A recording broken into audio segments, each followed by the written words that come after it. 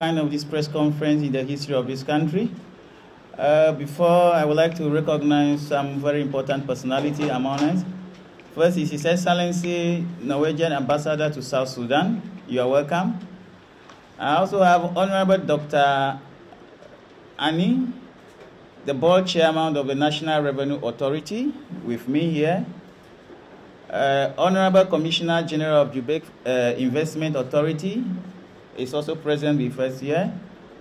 With me is the Regional Director of African Development Bank, the people who are providing funding to the establishment of the Revenue Authority is uh, on my right side uh, here.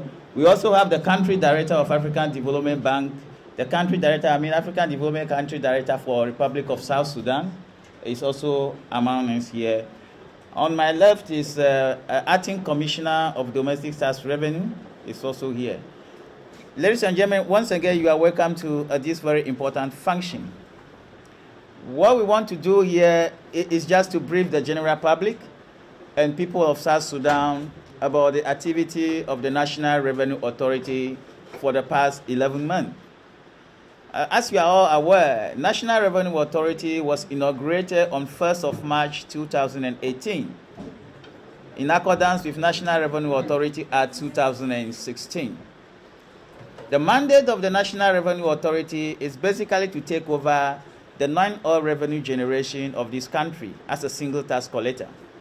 And when I mean the non-oil revenue generation, there are some institutions we used to collect this non-oil revenue generation for the Republic of South Sudan. Notable among them were the former directories of uh, customs and then taxation.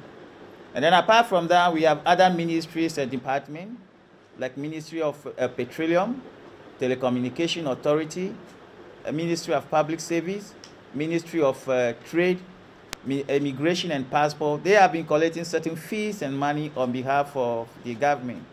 But by coming into force of the National Revenue Authority Act 2016, National Revenue Authority is only mandated institution to collect these revenues.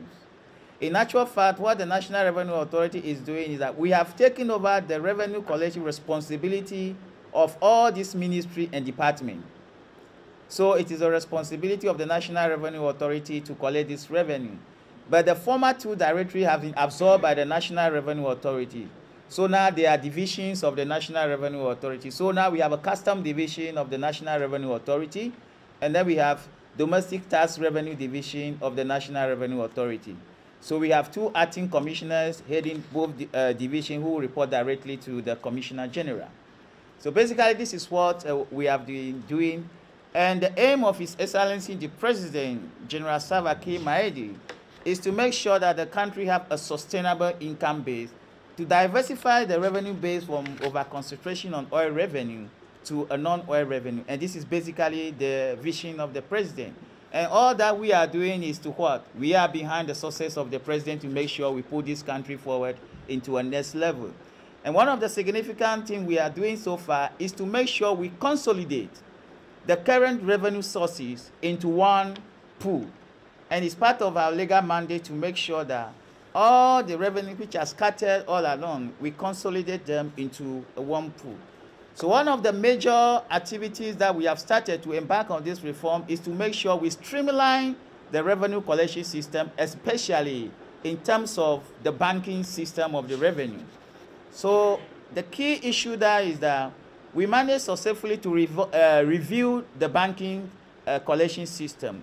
Before the establishment of the National Revenue Authority, Ministry of Finance was responsible for collecting this revenue.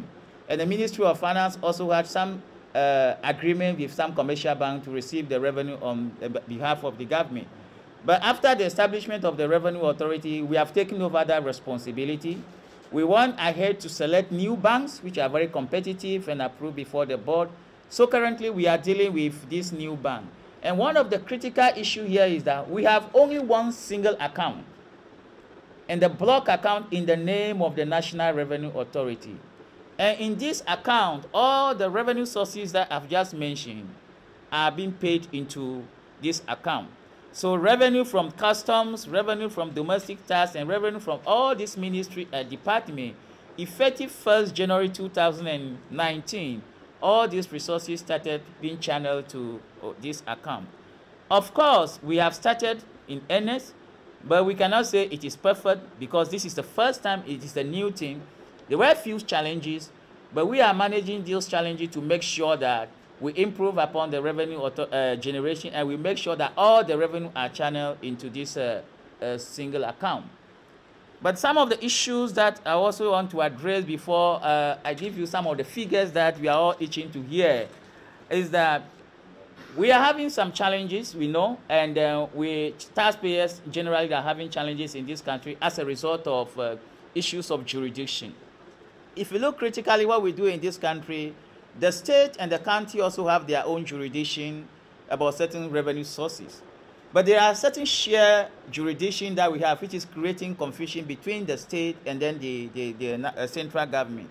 So what the National Revenue Authority is doing is to make sure that we redraft the entire taxation act of 2009 to make sure that we clarify issues concerning PIT in particular.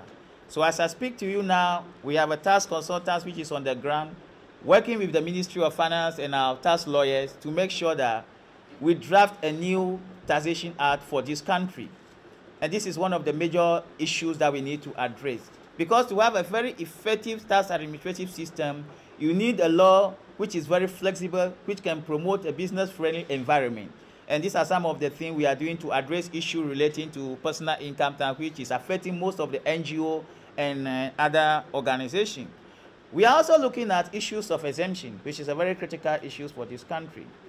One of the critical things we are looking at, how do we streamline the exemption procedures to make it more friendly and to be more quicker to grant? By, authority, uh, by National Revenue Authority Act, exemption has been transferred to the National Revenue Authority. Currently, what we are doing, the Ministry of Finance is acting on behalf of the National Revenue Authority to grant the exemption because we don't have the staff, the core staff in place to work on the exemption for the Commissioner General to, uh, to sign. In the next couple of weeks, we are going to transfer the exemption from the Ministry of Finance to the National Revenue Authority, where we'll make sure that we streamline the exemption system, make sure that those who deserve the exemption are granted the exemption. I must say that we are losing a lot of money from exemption. At times in a month, the total exemption that we grant is over 2 billion. That is from the border, where we have a collection of four, about 400 million. So you can see the statistics. We are granting over 2 billion exemption, and the total fiscal collection we are collecting is 400 million. Something needs to be done. We are not saying that we are going to cancel exemption for the international organizations or the NGO. We want to streamline to make sure that whatever loopholes in the system of granting the exemption, we block those uh, uh, loopholes. It's a very critical thing that we, we are going to do as a National Revenue Authority. So generally, National Revenue Authority is operating very effectively. In January, we launched a single account. We call it single account, or it's basically a block account of the National Revenue Authority. And the performance for that account for January was relatively good. What we want to demonstrate here it's not necessarily about how much we have generated we have generated through the single account but it's about the fact that for the first time in the history of this country the political leadership have decided that they want transparent and accountable system of revenue collection therefore they supported the establishment of national revenue authority and this block account for the revenue authority so for the first time the collection function has been separated from tax policy function so the Ministry of Finance now is responsible for tax policy function and the National Revenue Authority is solely responsible for what? The collection function. So we have an account in the name of the National Revenue Authority. We receive money in this account for four weeks and by law we transfer this money on or 15 before 15th of the ensuing to the Ministry of Finance or to the central bank for the government to disburse. So in January, when we launch the single account, these are the few statistics we want to share with you that everybody should take note of. The generally total collection for the single account in terms of SSP, we have collected 1.2 billion, 1.28 billion pounds in January. As at 31st January, the collection figures for the block account for the National Revenue Authority was 1.2 billion pounds. This is not to say that a lot of uh, a lot of money did not go outside this account. We have identified a huge resources which did not pass through this account because it was the first time we have started operationalizing the account and these are the few challenges. And we are also making sure that we, ident we identify these loopholes and we block them. And we believe strongly that these February figures are going to improve. And also, if you look at the hard currency, we, we, we also have $4,600,000. That's what we have collected as hard currency, the dollars, for uh, through the single account. And all these resources I'm talking about has been transferred to the central bank for the Ministry of Finance to use. What is significant here is that we have evidence-based data now we can count on. And that is one of the significant things that we are introducing to the new regime. That if you ask for figures, we will be able to produce evidence-based data for you. And this is also good for government for projection and planning. And for you, the citizen, you cannot know how much we are generating for government each partic in any particular period of time. So if you are demanding accountability, you should know how much we are demanding. So if government is also asking you to pay, you should also know that what we are generating is not enough. That is why government is asking you to pay more. So accountability also goes with what? Obligations. So when you are going to demand accountability for government, you also have obligation to honor your task responsibility. Apart from this, the Revenue Authority is not only consolidating the, the resources, we are also expanding the task name. Also, for the first time, the UN agency, all the UN agencies, about 18 of them in this country, their non-fee STEM staff will start remitting their personal income tax from this month. It's a very also significant achievement for the National Revenue Authority. We had a successful discussion with them and everybody understood that they have a responsibility to support the government. They have not been paying over the years, but they have a responsibility to pay. So successfully we brought them into the task net. Effective this month, we will be generating significant amount from thousands of uh, national staff from the UN agency. It is all also in the national staff. Other international consultants who also come here for short period to make some few monies here are also under obligation to pay tax. So revenue authority basically has started operationalizing fully. We are also working on our database to make sure we have a centralized database where we can have real-time reporting and we are collaborating with the banks, the eight, the nine banks that we are working with right now, who are collaborating with us to collect the, the revenue for us. One of the significant things about the change in rules of the game with the bank is that we are no longer paying the bank any percentage from our collection. Previously, they have been receiving some percentage, but we have agreed with them that you cannot collect taxpayers' money and give it out. They are banks, they are in business. They should be able to use our money within six weeks to make some money. So we are not paying them any percentage. They are, we are, they are just charging the normal bank charges that everybody receives. And that is also a significant achievement for the government. So the money which would have gone to this bank in the name of giving them percentage now is now returned with the government. And the banks are really supporting us. We want to congratulate the bank for the first month, what they have done so far. And then we want to see this uh, support to continue. It is our hope that all of you will support the National Revenue Authority to become fully operational by the end of next year. At the end of the day, what we are doing here is support the people of South Sudan so that when we establish this authority for you, we will work out and hand it over to you. And I must say that this is not the first time you have foreigner, some foreigners sitting on the floor here or managing the revenue sources. It happened in other African countries. But what we are also doing for you is to support you. It is your responsibility to make sure that you support us so that we build a system and leave it for you. In some two years to come, Commissioner General will not be here. This place will be managed by South Sudanese. And this is what we did for other countries. But we must make sure that you learn so that when we go, you can manage this system and also be comparable to other countries like how it happened in Uganda, Tanzania, and other places.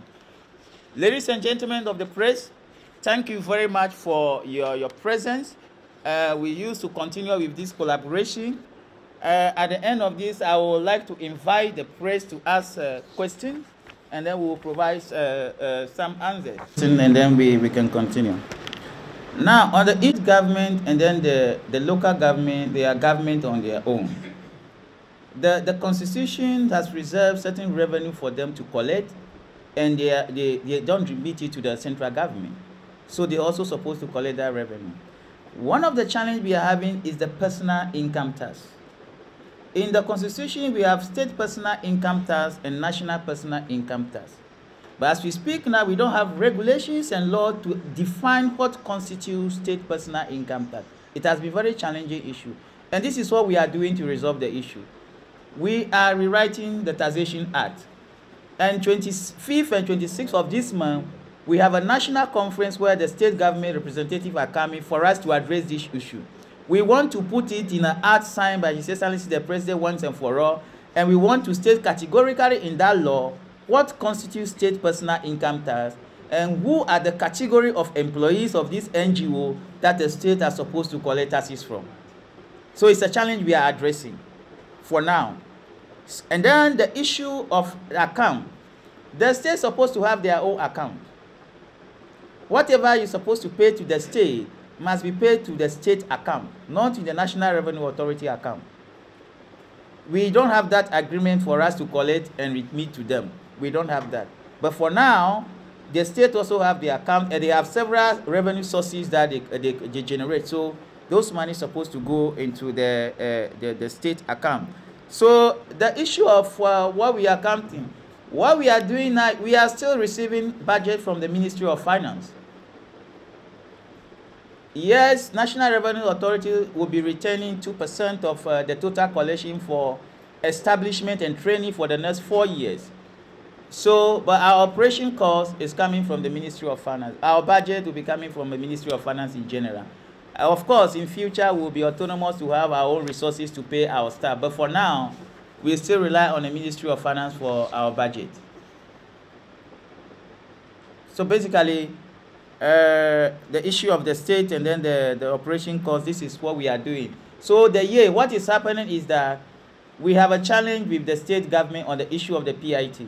So whatever is happening is because uh, that we don't have a law to regulate it. So we are working to make sure that we have a law to, to regulate. So we have been talking to the state to make sure uh, the matter is handled amicably. Whenever you are paying to the national government, they shouldn't worry you. But this is a gentleman agreement we are reaching with them. But the challenge is that we need a law to regulate uh, the personal income tax. Collecting money into the old account. I've already told these are the challenges that uh, we faced uh, last month, but I think uh, we have resolved some of these issues. But it is normal when you introduce a new system, uh, these are few challenges. But we, we, have, we have resolved it. The, the money is now being paid into the new account. The system, it is true, we are working on uh, the system very soon we will have a, a centralized system over there which will take up of the challenges that we are facing. We recognize the challenges that we have with the system now in the taxation uh, division. We, we know the challenges already. That is why we are building a new database to have a new system to make sure that uh, the challenges we are facing will no longer be there. The, the reconciliation even with the bank is a challenge. Reconciliation with your, your the payment is a challenge.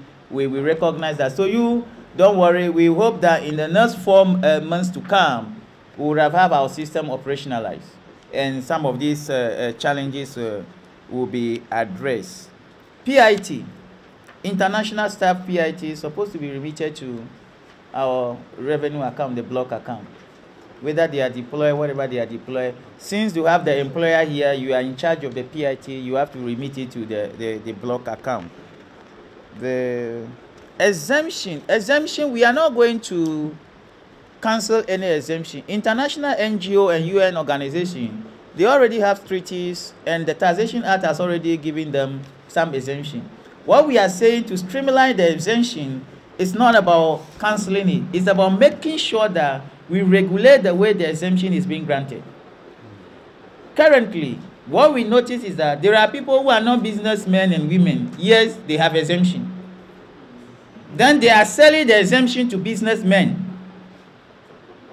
So somebody sits in his house, an exemption is granted to the person, and the person now sells this exemption to a businessman or woman bringing goods. This is what we want to avoid. The exemption is not meant for private individual or private company. The exemption is meant for humanitarian organizations and other organizations who are here to support the government.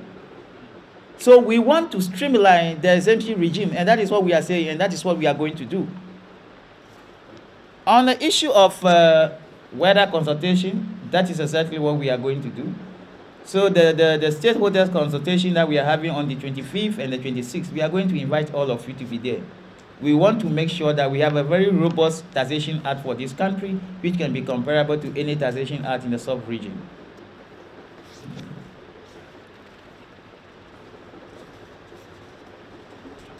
We would like to take uh, uh, additional three questions.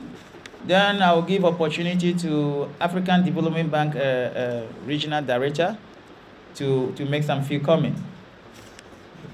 Establishment in Kenya. Now, when we say a permanent establishment, it's not about building. We are talking about the owners of the company, the shareholding, and where the company is registered. In tax law, that is what we call permanent establishment. So I always use this example, uh, uh, 540. 540 is a registered Kenya company, airline. Now 540 operate between Nairobi and Juba, but they have a ticket office here where they have Kenyans, which they employ in Nairobi, but they deploy them here to work. The salary they are receiving is the salary the company pays them in Nairobi. But a component of that salary is being received in Juba.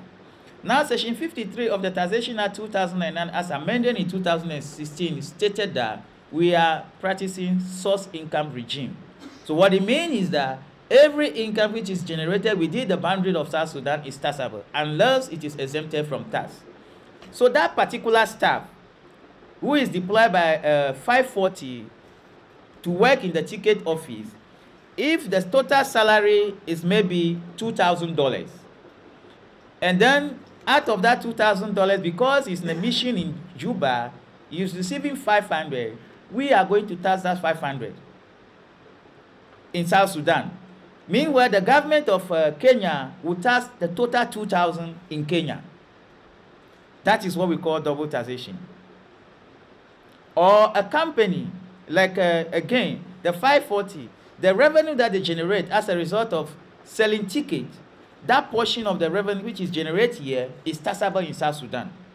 And then the entire revenue, including what is generated in uh, Juba, Uganda, and Nairobi will also be taxed by the authority in what? Uh, Nairobi. That is what we call ta double taxation. And the only reason why we will not tax that income which is generated here is if the country has a double taxation agreement with the Republic of South Sudan. And as I speak to you now, it is only Morocco which have a double taxation agreement with the Republic of South Sudan. So any other international staff, wherever you are coming from, Eh, the income you are generating here, if it is not exempted from tax, you must pay tax on it.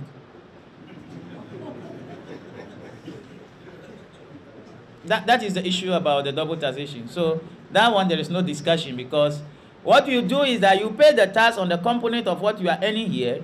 We give you a tax credit. You send it to your country to file it with the tax authority and they give you a tax rebate or whatever. That is between you and your country. But from here, we will make sure we collect the tax from you. Uh, the, the issue of data is a very challenging getting data in this country. So what is what we are working very hard to make sure we have this transparent. So if we talk about data, I am providing evidence-based data and the January is our baseline. It's a base year. I cannot talk about any data in, before, but I'll be talking about data from January. So next month, if you ask me about data, I can make comparison about what we know from revenue authority perspective. Mm -hmm. Yes, you what is happening now, you will continue to pay what you have been paying to the state. Don't stop. The new the current arrangement we have is that the locally recruited staff at the state level, you, you deduct the tax and you pay to the state. Please continue like that. We don't want any confusion. Until we finish the consultation, we agree on whatever framework we are going to have, then we'll come in, the whole public will know what to do. But now let's maintain the status quo in the issue of what you pay to the state and then uh, what you pay to the national uh, government. Any other interesting question? Fixing South Sudan is to collect revenue. It is not our mandate to determine how the money is spent. So that is our mandate. We collect in a transparent manner and we account for it in a transparent manner. That is why we are mentioning figures we have collected in January. And these figures have been transferred. Now it is a responsibility of Ministry of Finance to be telling people how these monies are being used. On the issue of performance of the bank, I must say that the first month performance is far better than what they used to do previous years. And we have to congratulate them for that. And I know they are going to improve on it. The reporting, the weekly reporting is very accurate, is on time, and there is some kind of competition now among the banks. Because the contract they signed with us, there are strict rules of uh, termination of contract. If you violate the contract, I will hold a press conference like this and terminate it so that the public will know the kind of banking practices you are engaging in in the country. So the bank for now, they are very straight. They are doing things very right. And I don't think any bank would like the Commissioner General to hold a press conference and terminate the contract and for you to lose customers. So thank you very much, uh, uh, ladies and gentlemen, and then of the press. Now, it is very important you, you don't bite the figure which feed you. And there is a saying that you don't insult the long mouth of the crocodile if you are in the river. So, let, let, let me give opportunity to... Uh,